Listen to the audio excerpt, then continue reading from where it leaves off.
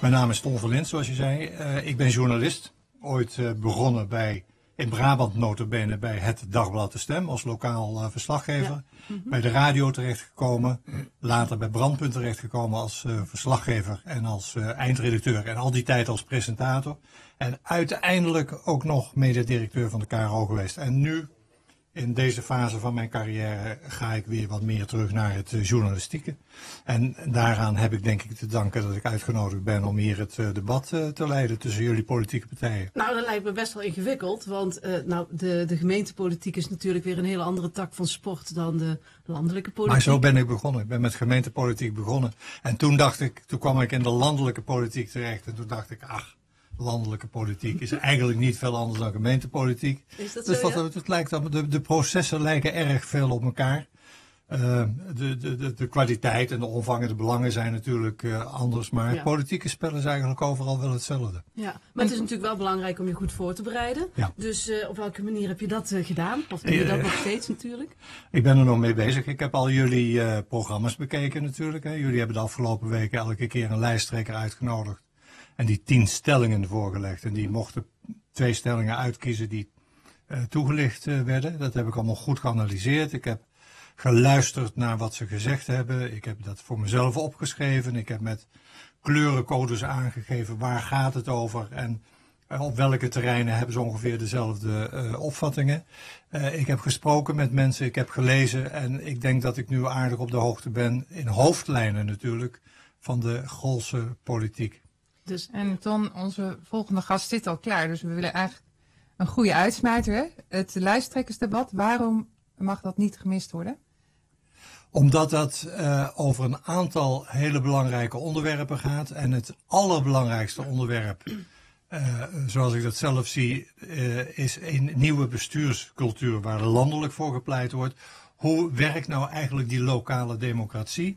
Hoe worden burgers daarbij betrokken? Uh, uh, voelen ze zich serieus genomen of niet? In een aantal opzichten heb ik gelezen dat mensen zich niet altijd serieus genomen voelen door de politiek. Dus dat is een aspect dat uitvoerig aan de orde komt. En dan niet in klagende zin, maar vooral hoe gaan we het uh, oplossen?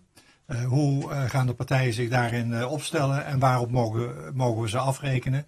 En uitgangspunt bij het debat is dat we vooral heel concreet gaan wijzen. Hè? Dus geen vage beloftes naar de toekomst. Als je zegt, er moet een geluidswal komen rond de A58, een van de onderwerpen die ik tegenkwam, is prima. Maar wat gaan we dan niet doen? En wees daar concreet in. Ja, welke ja. keuzes maken we? Welke keuzes maken we? Waaraan ben je te, uh, ben je te houden? Uh, maak het zo concreet uh, mogelijk. als je zegt, wij gaan het verenigingsleven privatiseren wat betekent dat dan? Ja. En is dan privatiseren? Nou ja, ik ga het niet verklappen, want dan haal ik een stuk van de spanning van het debat uh, weg. Maar wij gaan heel concreet de politici dwingen om duidelijke taal te spreken. En we moeten af van de notas. Zoals ik zie hier een speeltuinnota liggen van ik weet, niet hoeveel, van ik weet niet hoeveel pagina's. Dat is oude politiek. Hè. Het kan ja. allemaal veel simpeler. Ja. Nou, daar dus, gaan we het over hebben. En je gaat het ze niet gemakkelijk maken niet te gemakkelijk maken. Nee, maar niet gemakkelijk maken, maar wel gezellig houden tegelijkertijd. Absoluut. Op zijn Brabants. Dus het wordt een mooie avond. Absoluut. Hartstikke bedankt voor jouw komst. Ik zie er naar uit. En uh, de 9e maart staat in ieder geval in mijn agenda. Oké. Okay. Dankjewel. Welkom, Dave. Wij tutoyeren elkaar, denk ik. Dat is goed. Hoi. Ja, hartstikke fijn. Goed. Dankjewel dat je mag zijn. Ja, nou, um, we praten met jou over uh, het speeltuinbeleid. Ik heb je net aangekondigd in de introductie. Je bent directeur van zowel Jantje Beton als LOS. En waar staan beide organisaties voor? Jantje Beton is sinds 1968 het goede doel dat zich inzet voor meer speelruimte en speelkansen voor alle kinderen in het Koninkrijk. Uh, Jantje Beton is goed groot bekend geworden door de inzet van onze beschermvrouw, Prinses Beatrix. En door onze activiteiten die we hebben laten zien, ook via de collectebussen langs de deur. Ja. De loodjes via de basisscholen. En de postzegelactie? Uh, dat is van de kinderpostzegels. Ja, ja, dat is onze, onze vrienden. Ja, er zijn vrienden weer. Ja, ja. ja, maar ook uh, via leuke televisieprogramma's als Rons Hondenmoon Quiz, waarin we ook leuke acties hadden in het, in het verleden. Ja, dus we hebben allerlei leuke acties gehad. Die, die ken ik niet meer. Maar ook mensen kennen het ook van de Nationale Buitenspeeldag. Hè, Ja, opvolger ja, van de straat, straatspeeldag. Nee, Jantje Beton is hartstikke bekend. Maar LOS, dat Ja, is LOS. een brancheorganisatie. Ja, die is veel ouder. LOS is de opvolger van de, de Landelijke Branchevereniging van Speeltuinen. Mhm. Die bestaat nu eh, dit jaar 91 jaar, dus dat is een eh, gouden oude. Mhm. En die branchevereniging is de, nu de branchevereniging voor speeltuinen, kindervakanties Mhm. en ook voor stads- en kinderboerderijen. En eh, we hebben meer dan 800 leden. En Mhm. Bij onze locaties, lokaal niveau, komen er zo'n eh 15 miljoen bezoeken per jaar. En dat zijn, zijn eh, tienduizenden vrijwilligers die daar actief ook zijn. Wie zijn dan die leden? Dat zijn eh, speeltuinen, verenigingen, kinderboerderijen, stichting of een vereniging of een kindervakantieorganisatie. Eh, bij de kindervakanties hebben we een aantal commerciële partijen, een BV, en de meeste merendeel de rest is allemaal stichting of vereniging of coöperatie, et cetera. Ja. En jij was hiervoor, was jij ook eh, bestuurder bij Bijzonderwijs. Ja, Eh, dus jij hebt hart voor de, voor de jeugd, lijkt Ja. mij. Wat drijft jou precies? nou dat was bij bijzonderwijs, maar ook daarvoor wat, toen ik in Limburg actief was in het speciaal onderwijs. Ehm, ja, kinderen waar het niet vanzelf gaat, die wil ik graag helpen om het, eh, om het mooie van henzelf ook te zien. En, en de gelegenheid te geven om het maximaal uit hun talenten te halen. Ja. En bij Jantje Beton zien we dat we dus heel landelijk eigenlijk het hele koninkrijk kunnen bedienen. Dat kinderen kunnen genieten van het, eh, van het leven, van een mooie jeugd. Ja. En eh, nou, dit jaar bijvoorbeeld gaan we ook een speel, eh, speelplek openen op Bonaire. Ja, jij zegt ook heel bewust het koninkrijk, hè? Ja. ja. Nou, dat komt ook, ja, die taal die krijg je dan wel opgeschoond wanneer je ook regelmatig met onze beschermvrouw mag, mag spreken. Nee, dat snap ik. Onze Ja, gewezen koningin. ja. ja. En dan spreek dan, spreek ik vaak over het koninkrijk. Mhm. En eh, nou, in Bonaire, daar zien we dus dat kinderen veel minder gezond opgroeien. Dan zien we dus veel meer ook eh, overgewicht bij kinderen. En eh, ook veel minder beweeggedrag. Mhm. Ja. Wat ik had verwacht. Nou, dat is één grote Ja. speelplek. Lekker Ja, buiten. ja, dat Ja, zouden wij dan denken. Lekker werken, lekker snorkelen. Ja, ja, we denken alleen aan de grootstedelijke problematiek waar dit dan meer bij zou horen. Ja. Ja. maar dat is het ook, ook op Bonaire. Dat is het Ja. probleem. Want daar zie je dat veel meer auto's en ander gemo- gemotoriseerd verkeer eigenlijk het onveilig maken om lekker buiten te zijn. Ja. En dat te weinig mensen zich verantwoordelijk voelen om speelplekken te beheren. Dus dan met die lekkere tropische zon erop, dan wordt het eenmaal, zo'n speeltuin wordt dan bijvoorbeeld overgewoekerd door allerlei ja, onkruid. En Mhm. niemand die zich verantwoordelijk voelt om het netjes bij te houden. Ja, ja. We hebben jou eigenlijk uitgenodigd omdat er eh, in het najaar eh, de, de vraag aan de orde kwam of er niet tenminste één speeltuin in Goorlen helemaal inclusief kon worden.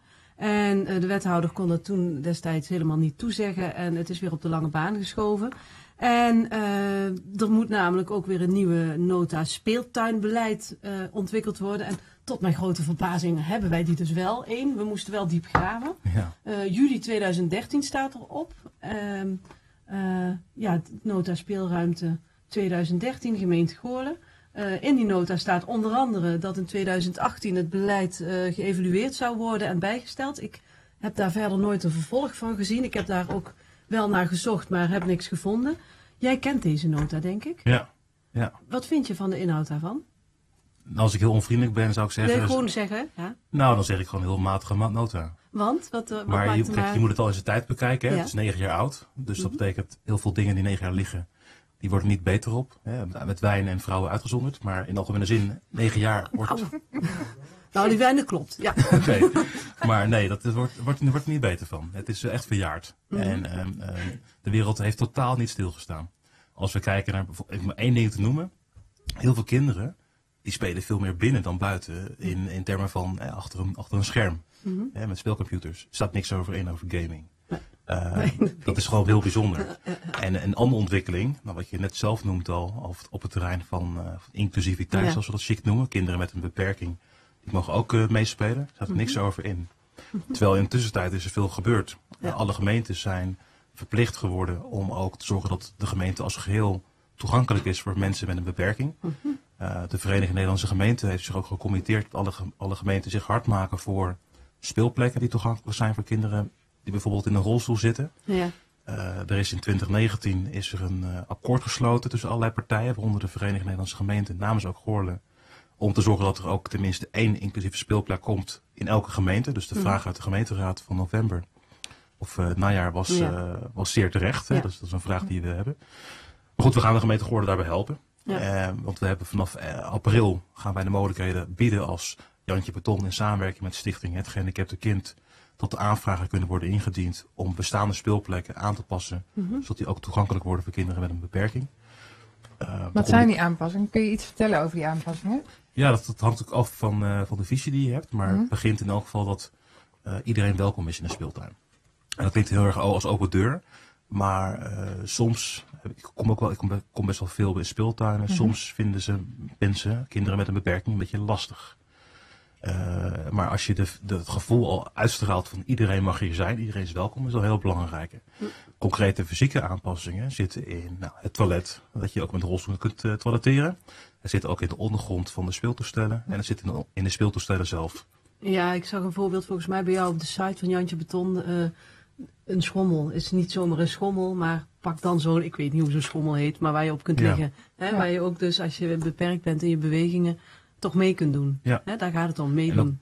Exact, en daar heb je ook nog verschillen in dat je als kind nog geholpen moet worden om uit je rolstoel te komen en Ja. in, in zo'n familieschommel bijvoorbeeld te gaan schommelen. Mhm. En sommige speeltuinen zijn zo uitgebreid dat je dus echt daadwerkelijk vanuit je rolstoel zelf al Mhm. vrij makkelijk in een schommel of een andere toestel kunt, eh, kunt gaan. Of met je rolstoel in een eh, toestel kunt, eh, kunt, kunt spelen. Ja. Ehm daar kun je over nadenken, moet je een visie op hebben. Mhm. We hebben daar in elk geval een website voor met allerlei tips. Onbeperktspelen.nl. Mhm. Ja, en, en die tips kun je natuurlijk al meenemen. Maar het zou heel fijn zijn als er überhaupt in, in Goorlen een partij is, een speeltuinvereniging. Maar die heb ik nog niet gezien. Maar als er zo'n partij zou zijn, liefst niet alleen maar van de gemeente, maar juist ook van, van burgers die zeggen, Ja, ja, wij vinden het belangrijk in onze gemeente. ja. En dat die zeggen, nou wij gaan ons hier hard voor maken. We maken een plan, we gaan met de gemeente praten over samenwerking en we gaan geld aanvragen bij, eh, nou, bij Jantje Beton en het, het gehandicapte kind. Bij het, Mhm. dat noemen we het samenspeelfonds.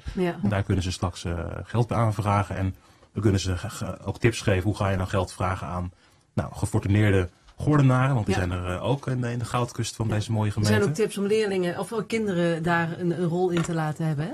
Ja, kijk, wat ook belangrijk is, als je gaat ontwerpen inderdaad, hè, dan is kinderparticipatie belangrijk. Ja. Dus wat te vaak gebeurt, dat zie je bij de nota van de gemeente ook al gebeuren. Dat is een echt een 100% door volwassenen geschreven stuk. En ik merk daar helemaal niks in van wat, vindt kind, wat vinden kinderen er eigenlijk van. Terwijl ja, geen enkel bedrijf gaat een product op de markt brengen zonder om te weten hoe gaat de gebruiker daarmee om. Ja. Eh, dat vindt mijn gebruiker belangrijk. Ja. En dat geldt bij speeltuin natuurlijk ook. Ja. Wie zijn de gebruikers van speeltuinen? Welke leeftijdscategorie moeten we vooral aan denken? Nou, klassieke speeltuinen is dat eh, doorgaans vanaf eh, zo'n zo'n 2 jaar tot, eh, tot 12, 13 jaar. Mhm. Als je dan verder door gaat kijken, ga je naar skateparken kijken of allemaal urban sports en dergelijke. Dan heb je het over de jongeren. Ja. Eh, maar echt een speeltuin is, eh, maar goed, dat hangt ook vanaf of die beheerd wordt of niet. In een grotere beheerde speeltuin met vrijwilligers, een hek eromheen, Ja. kun je soms, nou, ik, heb, ik heb een speeltuin gezien waar je al met, als baby in buiten kunt kruipen en spelen.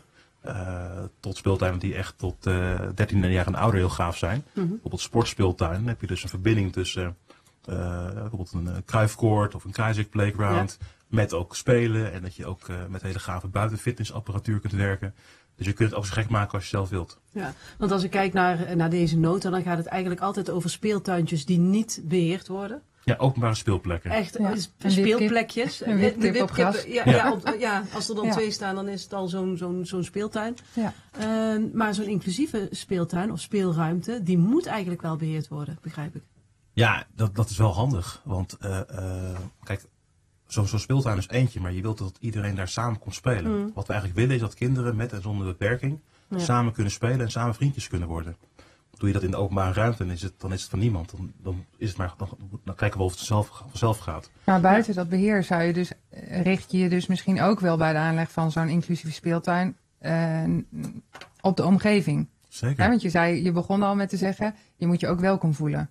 Ja. Soms vinden mensen kinderen met een beperking ingewikkeld. Of nou, wat moet, je, hè, moet ik die helpen of niet? Of, eh, het is misschien meer de onbekendheid die er dan is. Wat, is, wat voor plan hebben jullie, hè, wat voor advies geven jullie daarvoor? Nou ja, kijk, het liefst hebben we dus een groep burgers, gewoon mensen die, ouders die dan zeggen, we willen graag iets realiseren in Goorlen. Eh, die maken een plan en dan kunnen wij helpen met een plan. Mhm. En eh, de eerste stap is in elk geval op, nou, wat is je lange termijnvisie en wat vinden kinderen ook belangrijk? En dan spreek dan ook met kinderen met een, beper met een beperking.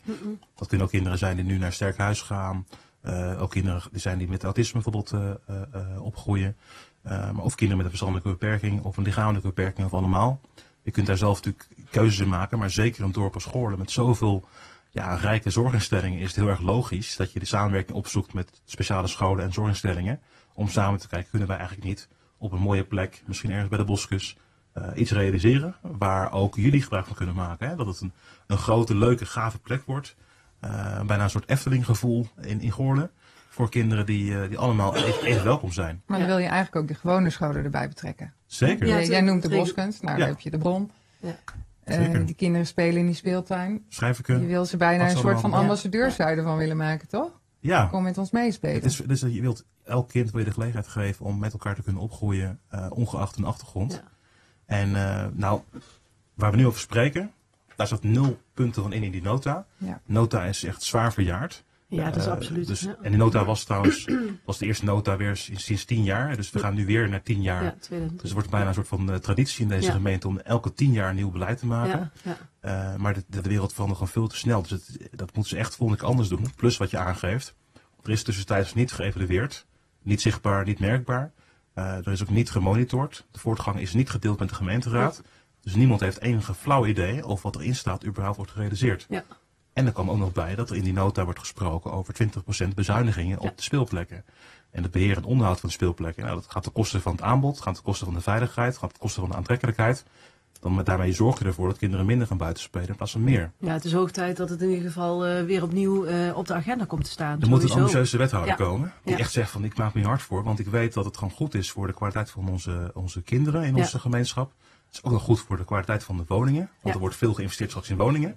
Wat wel goed is in, in nota, daar staat in ja, hoe meer speelruimte en speelplekken er zijn, hoe meer woongenot er is. Ja, dat, dat komt steeds terug Ja. in, in deze nota. Maar, maar eh, ik, ik, ik heb eh, op de site van Jantje Beton eh, gekeken. Er wordt een prijs uitgereikt eh, aan de meest speelvriendelijke gemeente. Is dat de eerste keer dat dit initiatief er is? Ja, dus afgelopen november hebben we dat uitgereikt aan de gemeente Leiden. Ja, dat was wel uitgereikt al, hè? Ja, nou, en waarom is dat... Wat, ja, wat, is dan, wat, wat maakt die gemeente dan zo speelvriendelijk? We hebben tien criteria Ja. daarvoor bepaald. En de gemeente Leiden scoorde daarin het hoogste volgens de professionele jury en de kinderjury. Want kinderen hebben daarin het laatste woord gehad.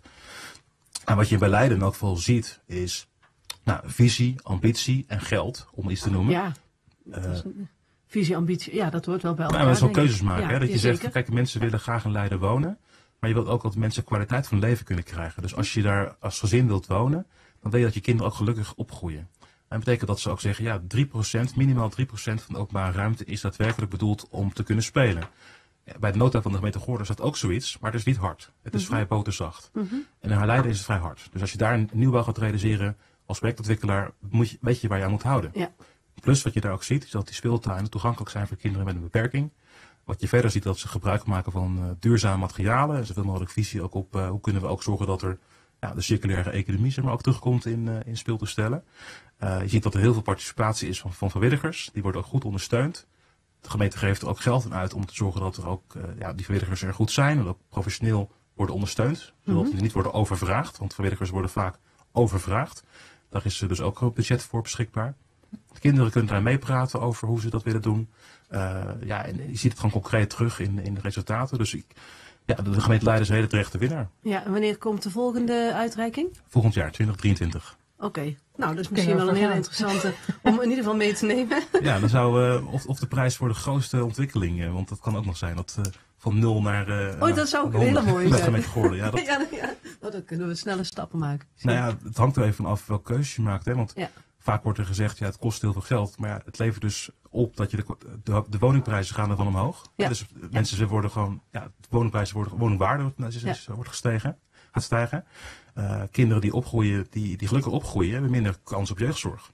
Eh, dus investeer je niet alleen maar in speelplekken, maar ook een hele verhaal over Ja, positief jeugdbeleid. Juist. Ja. En waar gaat de gemeente eh, het meeste geld aan uitgeven? Is jeugdzorg, jeugdhulp. Ja, Ja. je kunt ook investeren aan de voorkant om te voorkomen dat kinderen opgroeien in ellende. Nou las ik vandaag in het, in het Algemeen dagblad. Algemeen AD, het Algemeen Dagblad, is niet op zich niet mijn krant, maar ik werd er getipt door onze hoofdredacteur, met dank.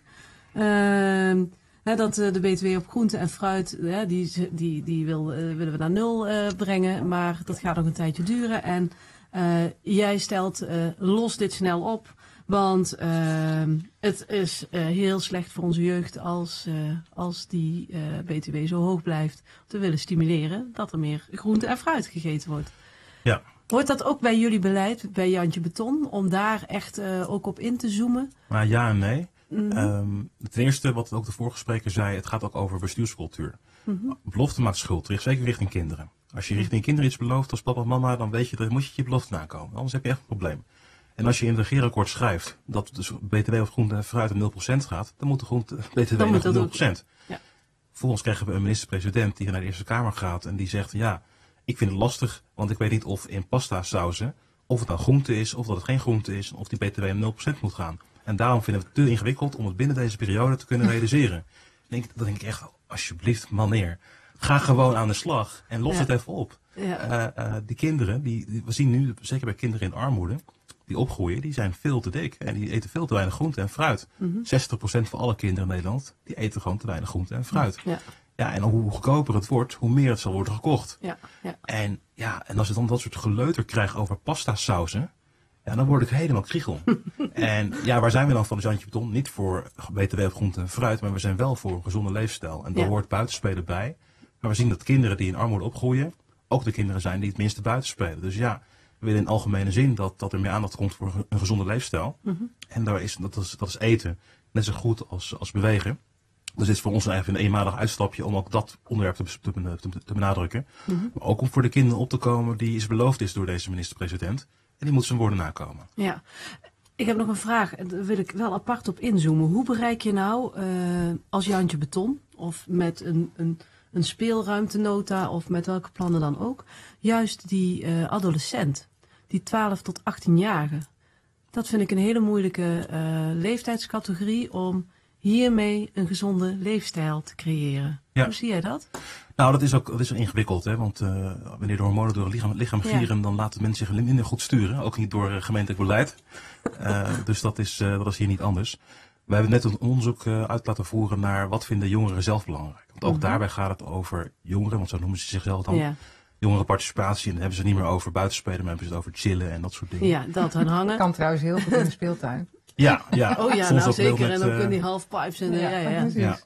Maar eh, eh, nou, dat is, dat is, dat is te, te lastig te zeggen in algemene zin. Eh, wat we in elk geval merken, dat jongeren heel graag willen sporten. Ja. En als je dan niet kunt sporten vanwege financiële problemen thuis, ja, dan zou je moeten zeggen, want dat is misschien iets voor het debat van 9 maart hier in, in de gemeente, elke jongere moet gratis kunnen sporten. Lid kunnen worden van een sportvereniging, van één vereniging bij spreken. En daar moet geen, geen administratief gezeur bij zijn, je moet lekker kunnen sporten. Ja, en dan kun je in het verlengde daarvan kijken of je ook nog iets in de openbare ruimte doet, eh, waar jongeren elkaar kunnen ontmoeten. Ja, Want ze willen ook graag met elkaar hangen. Dat hebben wij bij coronatijd wel helemaal gezien. ja zeker. Ja. Ze hebben gewoon echt die sociale contacten nodig. En Ja. die vrije schoolruimte, chillruimte, sport, beweegruimte, die is echt wel nodig. We zien dat bij onze vrienden van Johan Cruijff Foundation en Kruisik Foundation, de courts en de playgrounds, ook de jongeren goed wordt gebruikt. Mhm. Eh, we zien dat in het verlengde daarvan buitenfitness ook een op, opmars is. Eh, dus dat je echt buitenapparatuur hebt die je gratis kunt gebruiken. Eh, wat ook hartstikke fijn is. Daar gaan ze ook lekker met elkaar hangen en muziek maken en, en af en toe lekker een, een dra- drankje doen. En ik vind wel dat, dat, dat ook gewoon het gesprek, net als met kinderen, net als met jongeren moet worden gevoerd. Ja. Hoe zouden we Goorlen leuk kunnen maken voor jongeren? Even los van de nachtdisco's die er ook kunnen ontstaan, maar wel gewoon het gesprek voeren. Niet alles is, u vraagt mij draaien, maar wel luisteren wat ze belangrijk vinden. Ja, ja. In het verleden waren er meer jongerenwerkers. Die ook de ruimte kregen om met die jongens en meiden op, op straat gewoon echt eh, op, eh, gewoon in, in, in contact te komen. Er was ook budget ervoor. Nou, ik denk dat ook wel iets is voor, voor Stichting Jong in geworden om ook aan te vragen van nou, wat kunnen jullie echt betekenen om ook te op te halen wat de vraag is van de jongeren zelf. ja zeker. Ja, en, en daarbij is ook de vraag aan de nieuwe wethouder straks. Ja, hoe belangrijk vind je het? Hè? Want het kost altijd geld, maar het levert je ook veel op. Want hoe meer jongeren ook goed in de vel zitten, lekker elkaar kunnen ontmoeten buiten. Dus hoe minder overlasten veroorzaken, hoe minder troep, hoe minder criminaliteit. Dus ja, het is even de vraag hoe belangrijk je het vindt. Misschien dat de burgemeester zelfs nog eh, kan zeggen, ja, het is een heel belangrijk preventief middel. Ja. Nou, wij zien gelukkig in heel veel eh, verkiezingsprogramma's terug dat, eh, dat de politieke partijen vooral verbindend willen zijn naar de gemeenschap, naar gemeente Goorlen en Riel. Dus dat is in ieder geval sowieso een mooi streven. En ik, ik ben heel benieuwd welke concrete plannen ze inderdaad op dit gebied ook willen gaan smeden. Daar gaan we de 9e maart hopelijk ook eh, op inzetten. Eh, voor nu, gezien de tijd ook, wil ik jou heel erg bedanken voor jouw toelichting. Eh, ik hoop dat er heel snel een nieuw verhaal en een vervolg komt eh, op eh, de speelruimtenota van 2013. Eh, dankjewel. Alsjeblieft, en we helpen graag mee met de gemeente. Dus het is niet zo, niet zo dat we alleen maar uitdelen. We willen ook graag meehelpen om het probleem op te lossen. Hartstikke goed. Het gesprek wordt gevoerd. Dankjewel. Dankjewel. Tess, welkom als lijsttrekker van het eh, CDA. Ehm, in aanloop naar de gemeenteraadsverkiezingen van 16 maart praten we elke week met een lijsttrekker vanuit Golfspolitiek. Vandaag ben jij dat. En wij leggen altijd 10 stellingen voor. Je hebt het misschien al wel eens gezien. Je kent de stellingen nog niet. Je mag antwoorden met ja en nee. Daarna mag je nog twee stellingen uitkiezen waar je op terug wil komen. Waar je iets meer uitleg over wil geven. Ehm, Oh ja, je hebt de stellingen. ik heb de stellingen. eh, ik lees ze even voor Ja, en ik zal wel wel checken of het ja of nee is. Maar je moet in ieder geval echt, eh, je- je mag je niet onttrekken van een eh nee, uitspraak. geen mening eh, mag een ja niet. of nee. En dan Ja. mag geen uitleg. Alleen Nog aan niet. het einde. Aan het einde. Ja. Alleen ja en nee. We gaan ze eerst gewoon eens even langs. We beginnen met stelling 1. Als de financiën het toelaten, draaien we als eerste de bezuiniging op cultuur en sport terug.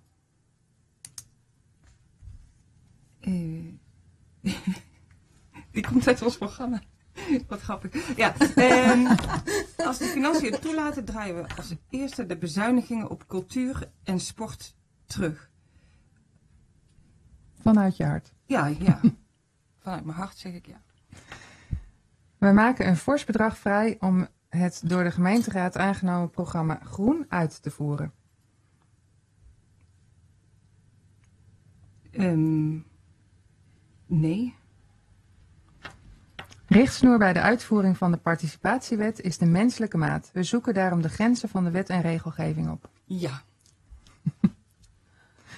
Daar hoefde je niet lang over na te denken. Nee, zeker niet. Bij woningbouw op gemeentegrond geven we de prioriteit aan sociale huurwoningen. Ja. De kwaliteit van het openbaar bestuur moet in Goorlen beter worden om zelfstandig te kunnen blijven. Nou, de kwaliteit van het openbaar bestuur, nee.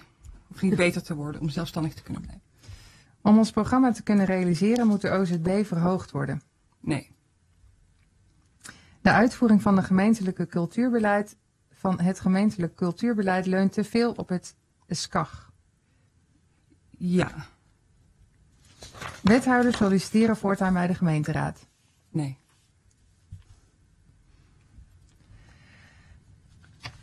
Oh, deze had We hadden het aangepast, ja. We hadden daar iets anders van gemaakt. Door gebrek aan vertrouwen in de landelijke politiek gaan minder mensen hun stem uitbrengen bij de gemeenteraadsverkiezingen. Ja. De gemeente gaat garant staan voor woninghypotheken voor starters. Nee. Best moeilijk, hè? Om zonder uitleg ja of nee te zeggen. Ja, het en is 50-50 in ieder geval, vind ik wel leuk. eh, ik, eh, weet je wat, de manier waarop je het zelf opschrijft is ook weer heel anders dan hoe je hem giet in, in je, je stellingen natuurlijk. Dus dan Ja. is het, eh, even, waar komt hij vandaan en eh, hoe heb je dat eh, geïnterpreteerd ook. En, dus maar wel een leuke exercitie om gewoon gedwongen te worden om ja of nee te zeggen. Ja. Waar wil je op terugkomen? Nou, eigenlijk wil, wil ik het liefst terugkomen op jullie gesprek met Dave. Ja. Dan komen we dat, dat doen we dadelijk ook. Ja, dat was, vond ik wel inspirerend. Ja, Ja, ja. en het linkt natuurlijk helemaal aan wat er in jullie programma staat. heel erg, ja. Ja. ja. En, Snap eh, ik dat je daar heel graag iets over wil zeggen. Ja, Daar kunnen we dadelijk op terugkomen. Zeker. We gaan eerst even de stellingen natuurlijk doen. uitstekend. Welke is, waar is, wat is de eerste waar je nog wat meer toelichting op zou willen geven? Nou, ehm, wat dacht je van stelling 3? Richtsnoer bij de uitvoering van de participatiewet is de menselijke maat. We zoeken Zeker. daarom de grenzen van de wet en regelgeving. Ik had daar zelf ook een kruisje bij gezet dat ik daar graag jou wat meer over wilde horen. Ehm, eh, ja, het is belangrijk. Hè? We vinden het belangrijk voor, eh, voor de inwoners en de, gewoon, hè, voor de samenleving. eh, dat je zoveel mogelijk mee kunt doen. En is dat nou met werk, betaald of onbetaald? Is dat nou met vrijwilligerswerk? Is dat nou op, op welk gebied eigenlijk dan ook? Dan ehm, ehm, moeten wij ons daarvoor inzetten dat mensen ook hun eigen kwaliteiten tot bloei kunnen laten komen. En ehm, eh, ja, dat kan op allerlei verschillende manieren. Hè? Dat kan op allerlei verschillende vlakken. Ehm, en eh, ja, hier staat ook, de, daarom zoeken we de grenzen van de wet en regelgeving op. Eigenlijk eh, zou er gewoon niks in de weg moeten staan. Hè? Van, oh nee, dit kan niet, want eh, er komt geld uit dit bepaalde potje. En daarom kunnen we jou nu, nu op deze manier niet helpen. Eh, want dat geld moet uit een ander potje komen. Kijk, dat zijn, dat zijn vervelende argumenten. Waarbij mensen soms niet eh, zichzelf kunnen ontwikkelen. Omdat ze dan, ja, is het nou het participatiepotje of het WMO-potje uit de begeleiding? Dat zijn van die vervelende dingen, daar willen we helemaal niet mee te maken hoeven hebben. Eh, Maar zoeken jullie nu al de, de, de grenzen van wet en regelgeving op in, in bepaalde eh, situaties? Nou, het gaat er, eh, ja, bijvoorbeeld, eh, inderdaad, als je het hebt over eh, ehm, mensen die in, bijvoorbeeld in dagbesteding zitten. Mhm. En die, die, doen daar, die voeren daar werkzaamheden uit. Maar eigenlijk, ze zitten in, in, in, in begeleiding. En dan zou er eigenlijk geen groeimogelijkheid zijn naar betaald werk. Laat deze mensen ook gewoon het, de, het pad bewandelen.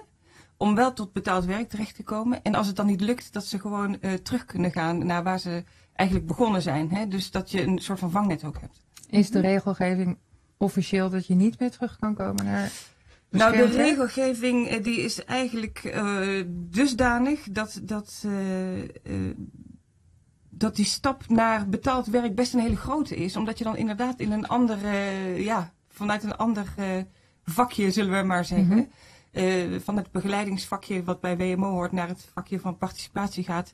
En daar zitten allemaal verschillende geldzakken in. Dus die, die stap naar participatie die is best wel heel erg groot. Dus af en toe wordt daar gewoon die stap niet gezet, omdat ze denken, ja, dat kan die persoon toch niet aan of zo, hè? om maar heel even gechargeerd te zeggen. En dat, dan zou je dus gewoon potentieel iemand, of iemand die gewoon potentieel heeft om door te groeien, eh, die, ja, die krijgt die kans dan Die wellicht. zou je eh, tegenhouden. Ja, die Ja. zou je tegenhouden eigenlijk. Mhm. Ja. En dat zou eeuwig zonde zijn natuurlijk. Ja. Ja. Ik voel bij jou echt zo'n behoefte om deze groep mensen echt te stimuleren om Ja, het beste uit zichzelf te Nou, halen. zo is het. En eh, niet alleen voor die, voor die persoon zelf, maar ik bedoel, ehm, het is voor de omgeving ook fijn, voor die persoon zelf, voor de, voor de economie Ja, uiteraard. Inclusiviteit is gewoon Inclusiviteit, ja. zo. En eigenlijk hebben we iedereen nodig, toch? Als het gaat om het uitvoeren van werk. Als je het daarover hebt, dat is inderdaad echt een, eh, een, een probleem dat eh, helaas eh, groter is dan Goorlen. En ik denk op dit Ja. moment zelfs ook groter dan Nederland. We hebben echt eh, in bepaalde sectoren een enorm gebrek aan, eh, aan handen op de arbeidsmarkt eigenlijk. En, Maar dat is ook een, ook een reden om eh, deze mensen maximaal in te zetten natuurlijk. Ja. Ja. Ja. Wat is een andere stelling waar, waar, waar je nog iets meer over zou willen zeggen? Mm. Ja, over allemaal. Ja, je moet kiezen. Keuzes maken, dat is belangrijk. Nee, absoluut. Nou, laten we dan maar heel even hebben over de stelling die jullie zelf hebben toegevoegd. Mhm. Want één vind ik het grappig dat je hem zelf eh, achteraf nog hebt toegevoegd. Dus ik mag jullie geen vragen stellen, of wel? Ja, zeker. Oh, Ja, maar je mag ons alle vragen stellen.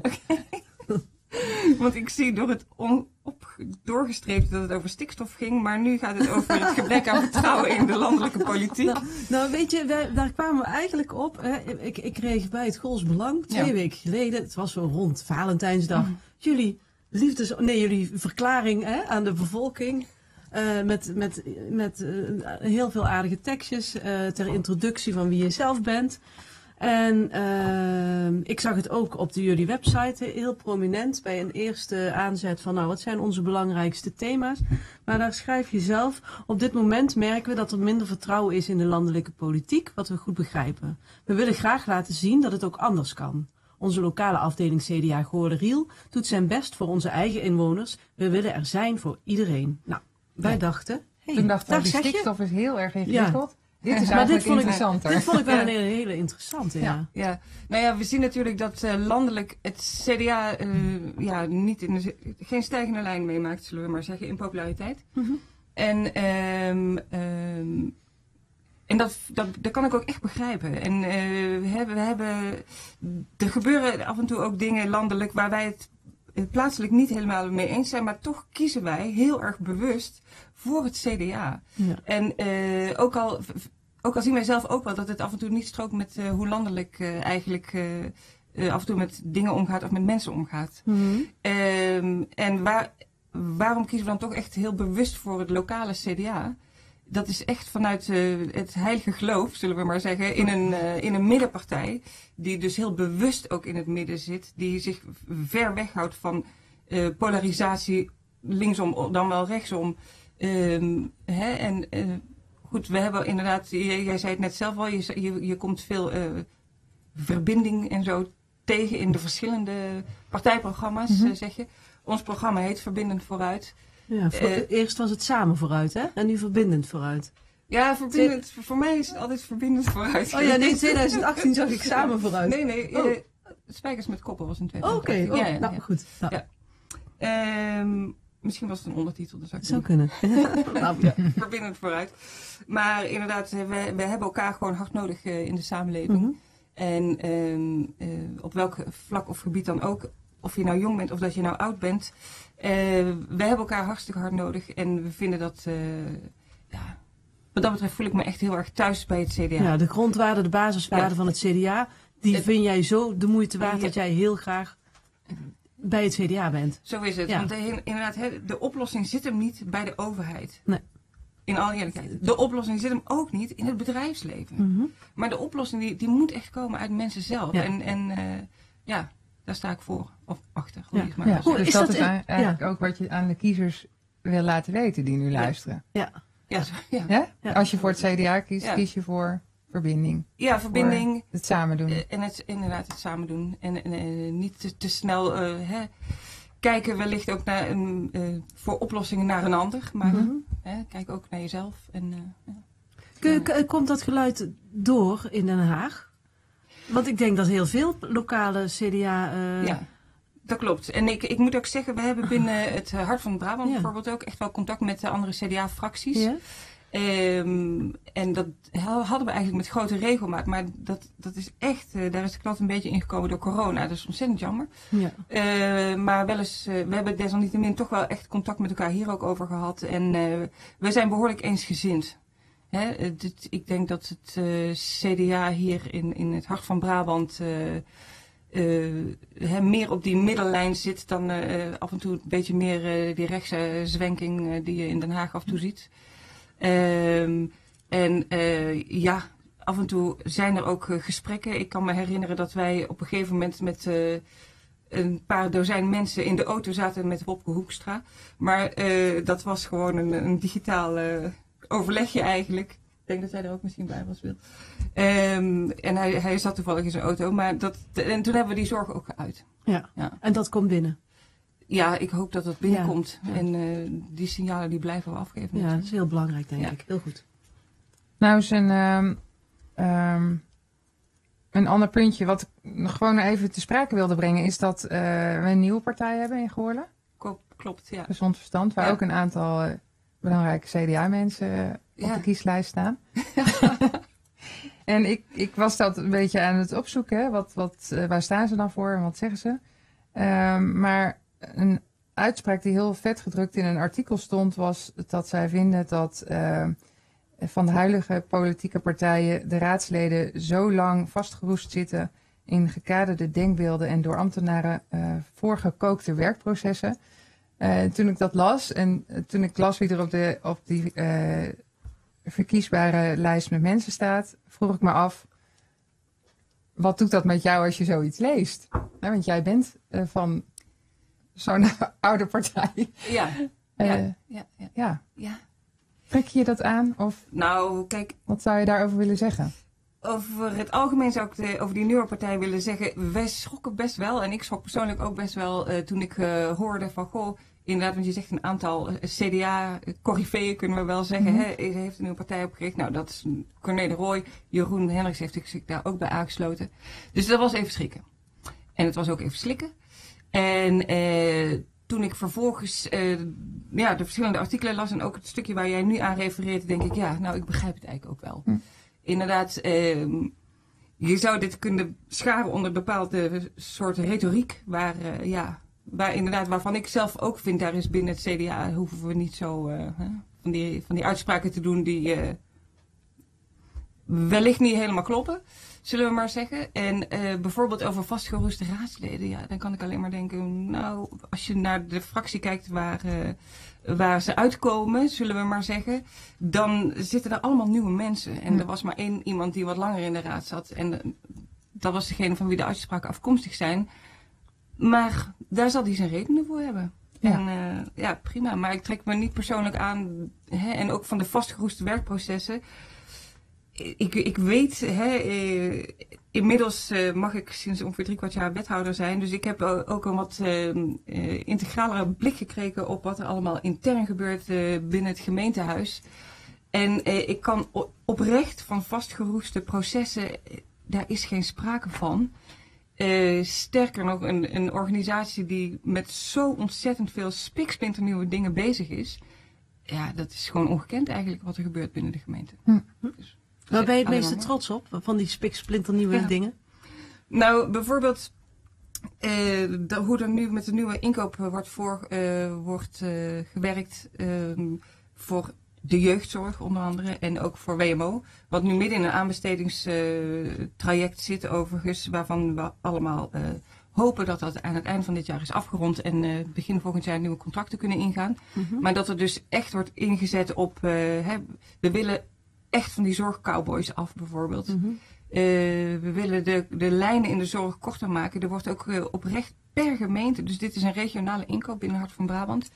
Eh, maar en per gemeente wordt dan toch dat contact gelegd met, met de, het, het voorliggend veld, zeg maar, de voorliggende voorzieningen, het jongerenwerk bijvoorbeeld en, en de andere voorliggende voorzieningen.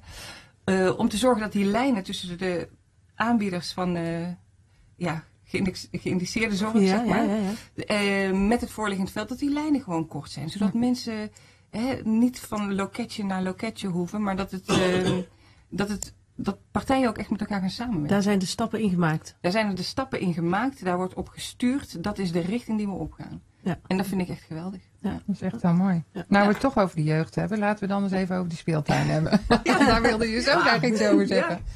Ja, ik vond het, ja, het was. eh, ik, ik ben het helemaal eens natuurlijk met de vorige spreker. Die nota die is oud en die is te oud. En die is verouderd. En die is ook best heel dik. Die is ook best heel dik. En niet, En makkelijk. saai. Ja, niet leesbaar voor de. Voor de, voor de Nee. ja. Ik haakte Voor een mij. beetje af tijdens het lezen. Hij, is niet, hij is niet meer van deze tijd. Nee. Nee, dat klopt. En die is ook hoog aan, eh, ja, heel erg aan vernieuwing eh, toe.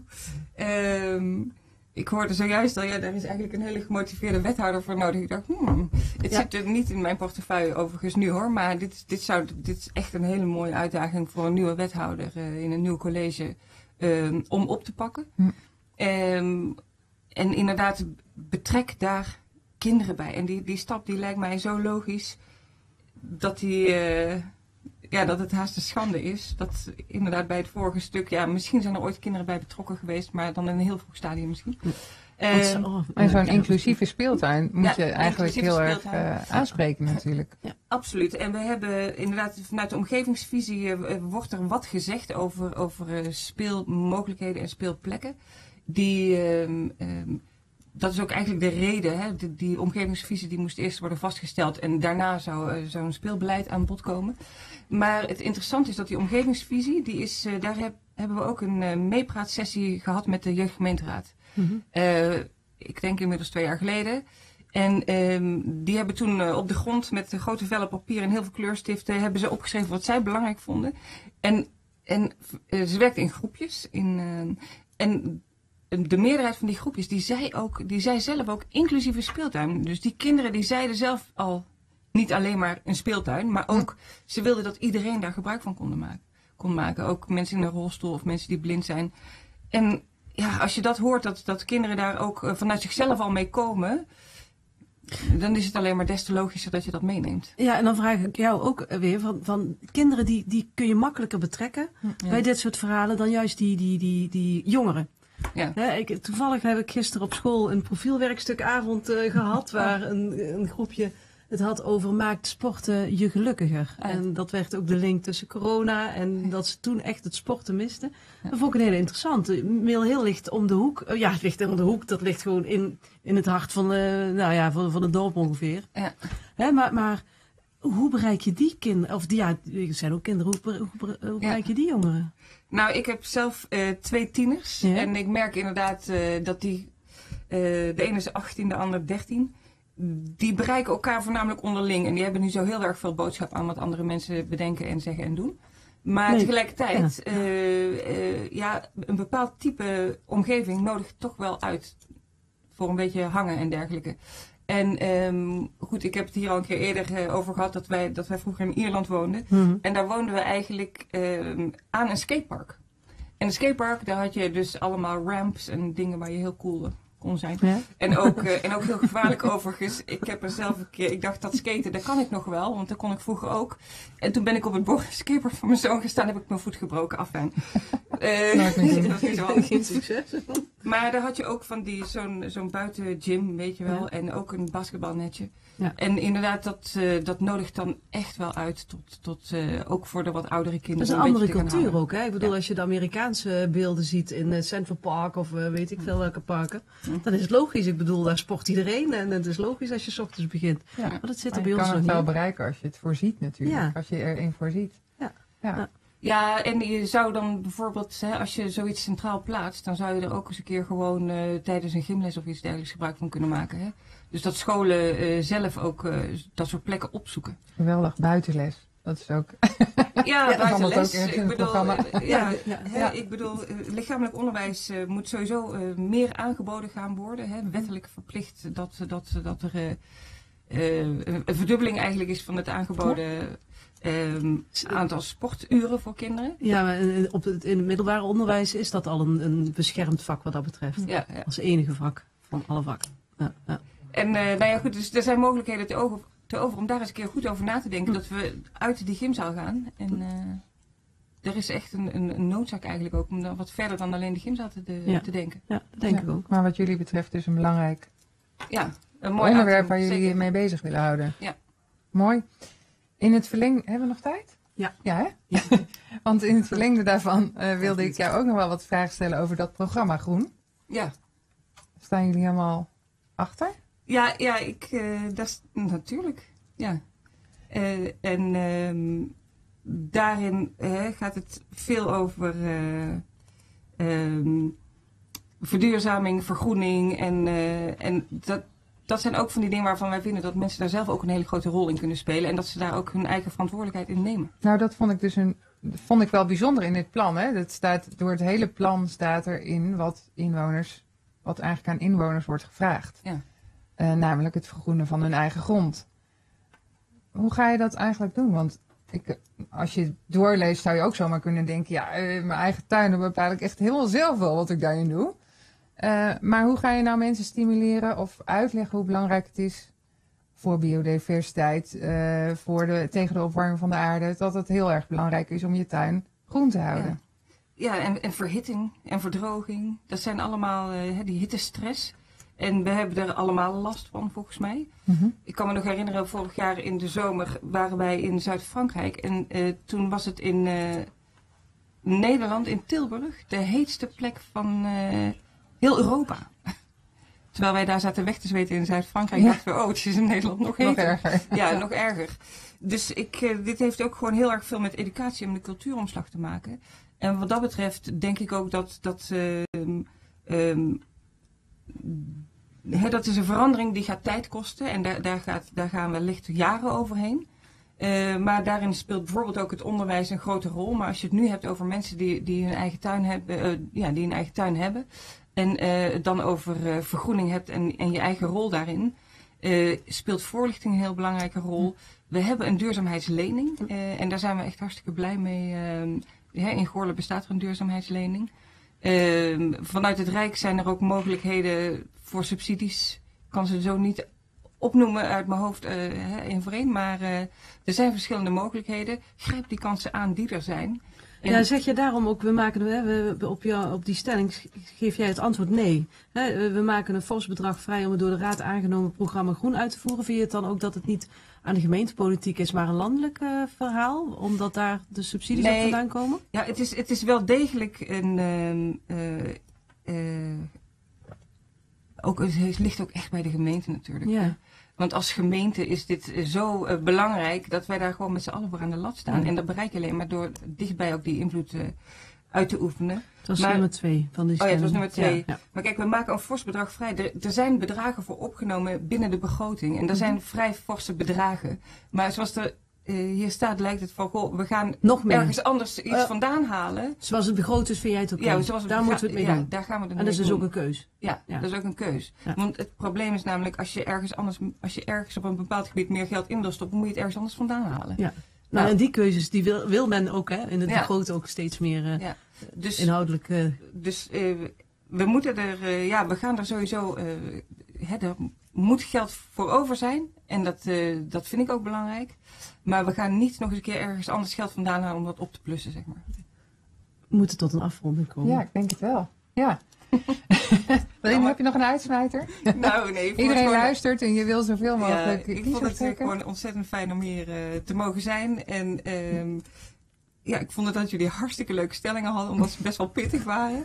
En ja, we gaan gewoon op 9 maart eh, verder hè, met, Nou, met het debat. zeker. Dankjewel. Tot de 9e maart. Heel veel succes in de aanloop daar naartoe. En vooral ook eh, voor de tijd daarna. Dank je. Ja, dankjewel. Fijn dat je er was. Ja, dankjewel. Nou, onze volgende gast is aangeschoven. Eh, u hoorde thuis eh, vast het vrolijke deuntje van de Jackson 5. Rockin' Robin. En daar gaan we het ook over hebben. Niet dat onze Robin zal rocken, maar we willen het wel heel graag hebben met jou, Piet. Over het roodborstje. Hartstikke bekend, maar er zijn wel heel veel leuke dingen over te vertellen. die lang niet alle mensen weten. Brand los. Dat klopt. Ja. Ja, ik zal wat dichterbij gaan. Ja, Ehm, ja waar, waar te beginnen? Eh, ten eerste, eh, eh, jij merkte net op dat je nu heel veel roodbosjes hoort. Ja, Nou, dat is een mooi begin. zoveel in de tuin ook. Ja, Ja. zeker. Want eh roodbosjes zijn nu eh, heel veel aan het zingen. Ja. Omdat het broedseizoen gaat beginnen. Ik hoorde op een gegeven moment s'nachts. En dat was eigenlijk de Ja. reden dat ik jou vroeg van, hoe zit dat nou?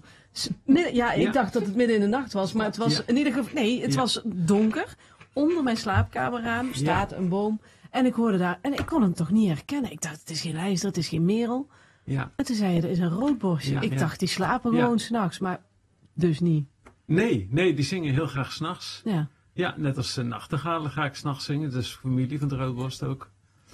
Dus En, ja. eh, maar goed, ja, eh, jij was erover begonnen. Hè? Dat Ja. is jouw idee om het vandaag over de roodborst te hebben. Ehm, maar ze zingen het hele jaar door. Dat is eh, misschien wat eh, niet alle mensen weten. Dat eh, de roodborsten die 's winters zingen... vaak niet dezelfde roodborsten zijn die zomers zingen. En dat heeft twee verklaringen. Ten eerste zijn het vaak vrouwtjes die ook 's winters zingen. Want 's winters zingen roodborsten. Eh, dat begint al in oktober. Dan, eh, dan eh, beginnen ze ineens heel heftig te zingen. Er is nog helemaal geen broedseizoen aan de gang. En dat zijn de ze- vrouwtjes. Ja. Nou, dat zijn Oh. niet alleen vrouwtjes, maar dan gaan ze een winterterritorium verdedigen. En dat doen de mannetjes en de vrouwtjes. Dus de mannetjes en de vrouwtjes hebben elk hun winterterritorium. Dus als je 's winters een roodborstje hoort zingen, dan kan het een mannetje zijn, maar het kan ook een vrouwtje zijn. En dat klinkt hetzelfde in principe. Nee, het, klinkt, het is een subtiel verschil, maar het, ze klinken minder, iets minder, eh, ja, iets minder hel, helder dan eh, wat ze in het voorjaar doen. Mhm. Ik denk dat het ook wel met hormonen te maken heeft, want de, hormoonspiegel Ja. die gaat eh, Want- van vogels het hele jaar op en neer. Want in, Ja. het voorjaar, want in het voorjaar is, is de functie van het zingen dus weer een andere. Zijn dat dan Ja. alleen de mannetjes? Of? Ja, dan zijn het de mannetjes. Is de functie inderdaad is, anders. Het is ook, ook een verdedigen van territorium, maar het is ook het eh, aantrekken van vrouwtjes. Mhm. En eh, nou ja, daarmee dus het weghouden van eh, rivalen. Ja, is het aardig om, om het geluidsfragment te laten horen? zeker. Ja. Ik heb zowel een, een, een geluidsfragmentje van een winterroodborst gestuurd. Misschien kunnen we die eerst horen. Ja? En dat is een ook... Dit is wat jij hebt Oh, opgenomen. dat- je, dat- dat is grappig, dan kun je wel horen wanneer het is. Want je hoort het aan de mussen op de achtergrond. En een kraai ergens volgens mij. Dadelijk. Dit is bij mij in de. Ja. En bij jou hoor je de mussen doorheen. Dit, dit, Ja. is, dit is dus, het is heel zangerig in het voorjaar. Een Turkse tortel zit er doorheen. En er zit ook een holenduif doorheen. Kom maar, kom maar. God, is allemaal bij mij in de tuin, Beetje, hè? beetje chimpanseeachtig. Ik vind het heel Dat is een. En dus, dus je kunt al aan die andere vogels ook horen, je hoort het aan de helderheid van zijn Ja. zang, maar ook aan die andere vogels, dat dat voorjaarszang is. Want, Ja. ja. ja. Maar ik heb ook een filmpje eh, met, eh, aan Ludwig toegestuurd. Mag ik nog één vraag stellen Ja, over ja, het zeker. geluidsfragment? Want geldt het voor alle vogels dat dit het aanlokken van vrouwtjes was? Ja, in- ja. Ja? Het Ja, Dat doen ze eigenlijk allemaal. ja, dat is wel Hm. universeel dat vogels zingen om inderdaad vrouwtjes te lokken en eh, tegelijkertijd rivalen weg te houden. Ja, Ja, zeker. zeker. Ja. Eh, Maar goed, er zit een eh, fragmentje. Oh, daar komt hij. Ja. Dit eh, heb ik opgenomen op Rechte Heide. Hij moet al heel hard staan, doet hij. Ja.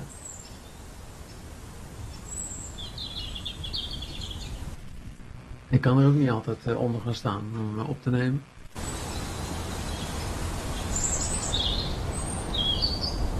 Playback. Ja, ja, inderdaad. Ja, ja. Een hele slechte playbacker. Maar dit is dus in oktober. En dan eh, En is dit nou een mannetje of een vrouwtje? Want, weet ik niet. Weet ik niet. Nee, dat kan een nee, ze lijken zijn veel op elkaar, hè? Ja, ze, ze, ze- ik kan ze niet onderscheiden. Dat Ik denk, ik zij zelf wel. Ja, ja, dat, dat- ja, dat zal wel. ook. Ja, dat denk ik wel. Nou ja, dat is, eh, hoeft niet altijd zo te zijn hoor. Nee? Maar goed, als we daarover gaan uit, wordt het een heel Ja. lang verhaal. Maar eh, het is wel interessant dat ze dus, dus in het najaar al eh, heel, heel actief eh, begint te zingen. En dat het hele, hele winter volhouden. En dan zingen er ook heel veel. Omdat er dan heel veel noordelijke vogels bij komen. Een deel van onze vogels trekt weg. Mhm. Eh, dus de, de roodbossen die in de wind zitten zijn heel veel uit Duitsland en uit Scandinavië. Dus dan wordt het hier heel druk en dan, eh, ja, dan is het een kwestie van landjepik. En dan eh, zijn er natuurlijk heel veel roodbossen die allemaal een eigen plekje willen. En daarom Ja. zijn ze het zo fanatiek aan Hoe het groot is dat territorium? Ja, dat hangt heel erg van de kwaliteit af, hoeveel er te halen valt. Maar, maar een paar honderd meter als doorsnede of zo. Dus niet al te groot. Maar in zo'n territorium zie je maar twee roodborsten. Een mannetje en een vrouwtje. Of niet? In de zomer. Ja. Maar niet in de winter uiteraard. Nee. Maar in de zomer, ja, en dan kan het nog zelfs, zelfs nog kleiner zijn dan. eh er kan een paar, paar achtertuinen, twee achtertuinen zijn of zo. Hmm. Ja, ja zeker. En, de- en dan zie je geen andere roodborsten, want roodborsten zijn ongelooflijk agressief.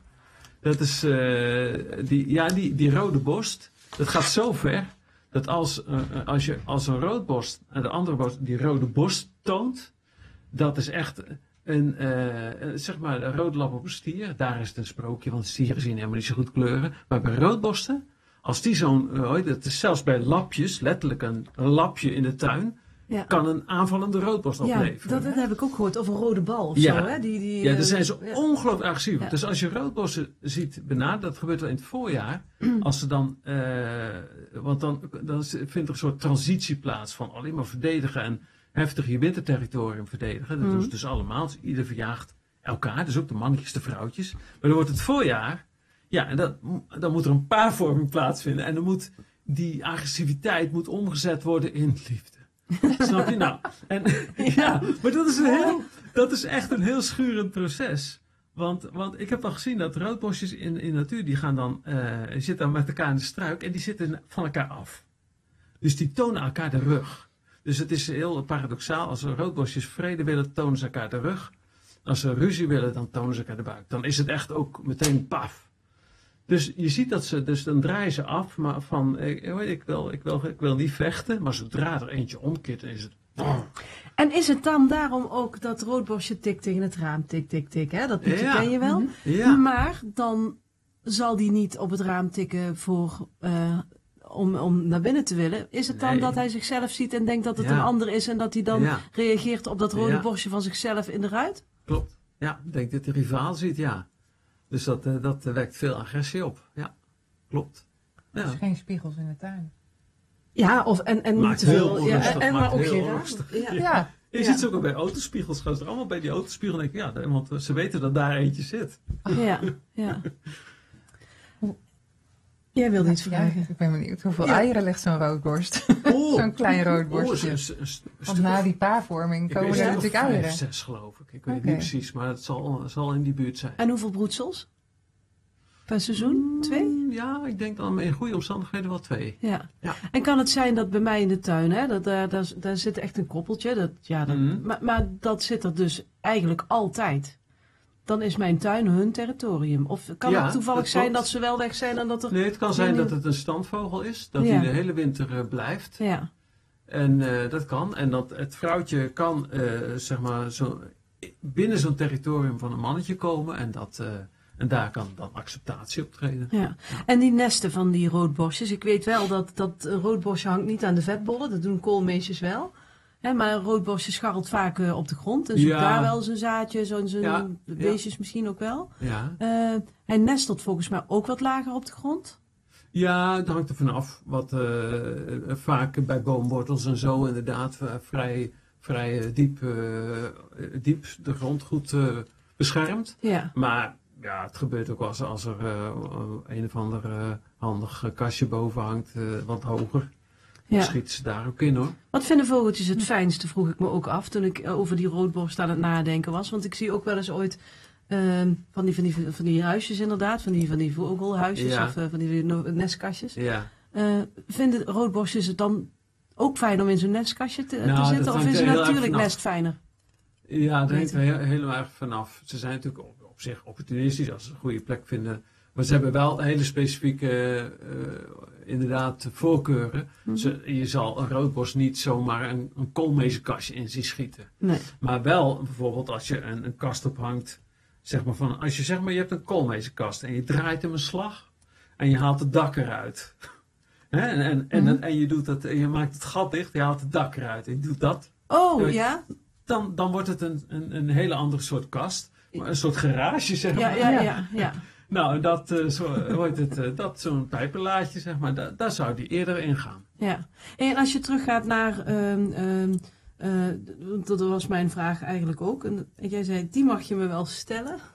Ik vroeg me af, hè, ik, ik zie wel eens op een rouwkaart of zo, of op zo'n ding, zie ik af en toe een keer een koolmeesje, maar ook geregeld een roodborstje. Oh ja. Wat, wat, wat, wat zou dat zijn? Is dat dan iets dat de overledene of de familie daarvan van roodborstjes houdt? Of heeft een roodborstje ook nog een andere waarde, Ja. een symbolische waarde? Ja, Of, ja, ja, dat hangt helemaal vanaf eh, van de mensen af die dat, eh, met welk idee die dat heeft gedaan.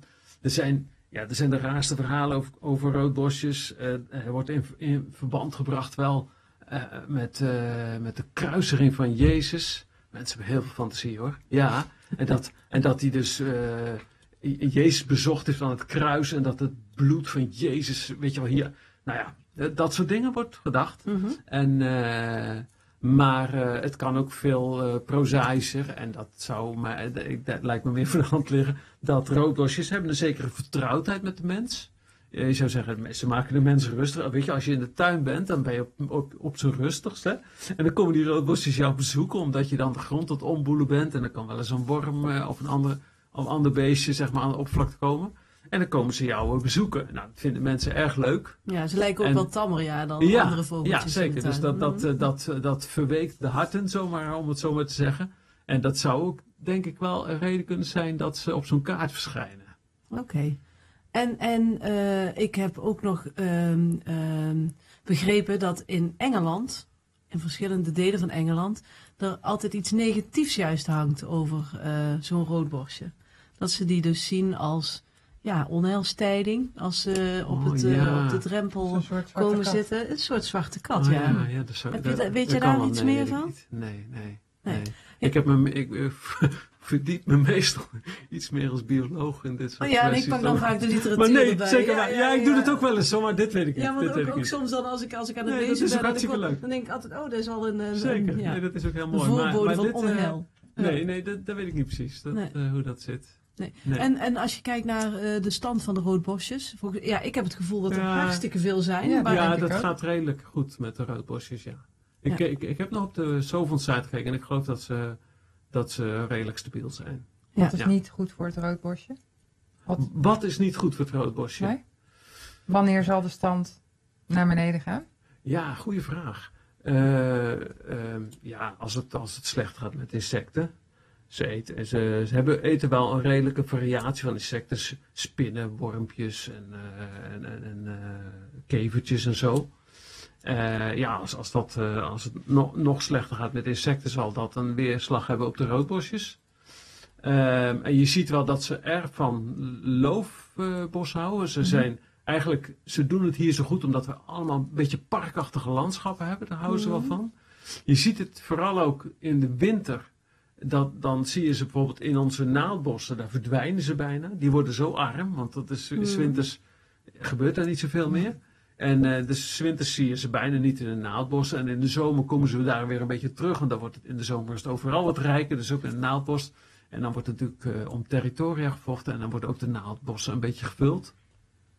Maar het zijn vooral de, de loofgebieden met loofhout, eh, parkachtige gebieden. Eh, dus ja, dus als, als we die eh, kwijtraken, dan raken we zeker de roodbosjes kwijt. Ja. Mag je Ja. van een, rood, een, roodbosje, mag je dat nou een tuinvogel eh, noemen? Of is dit... Jij mag alles. Nee, ja, nee, ja, sommige ja, koolmeesjes Ja, zie ik vooral eigenlijk in, in, in de tuin. Die zie ik veel minder vaak in, oh, als ik aan het wandelen ben.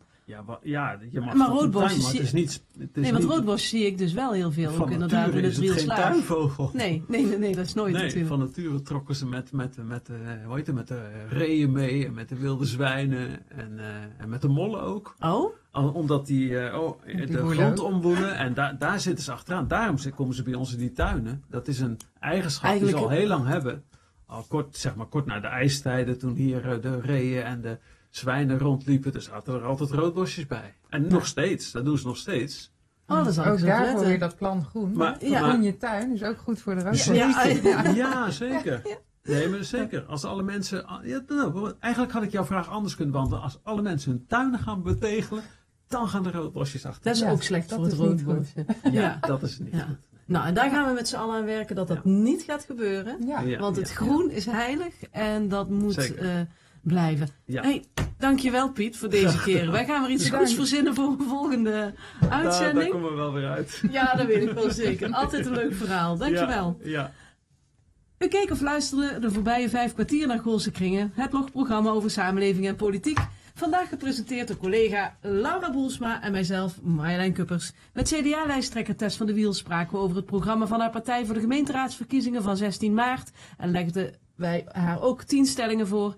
Dave Ensberg legde de meetlat van Jantje Beton langs het Goordense speeltuinbeleid. En na de bijdrage van Piet van der Hout weet u weer alles over het roodborstje. Wij maakten ook kennis Bijna. met Ton Verlind, die op 9 maart het lijsttrekkersdebat dat plaats zal vinden op het Mill Hill College eh, gaat, eh, gaat leiden. En ehm, volgende week ontvangen Ben Lonen en Dimfy van Loon de laatste lijsttrekker in onze serie. Namelijk lijsttrekker van lijst Goorleriel, Mark Verhoeven. En ook aan tafel komt wethouder Mario Immink, die afscheid gaat nemen en van wie wij dan ook afscheid nemen. Vandaag was Ludwig Tannenbaum weer de man van de techniek. En Wil van der Kruis tekende ook deze keer weer voor de eindredactie. Graag tot volgende week bij Goolse Kringen. En graag zeker ook heel erg eh, welkom op 9 maart bij het lijsttrekkersdebat op het Mill Hill College. Daarover leest u van alles in het Gools Belang. Graag tot ziens. Blijf op de hoogte via lokaleomopgoorlen.nl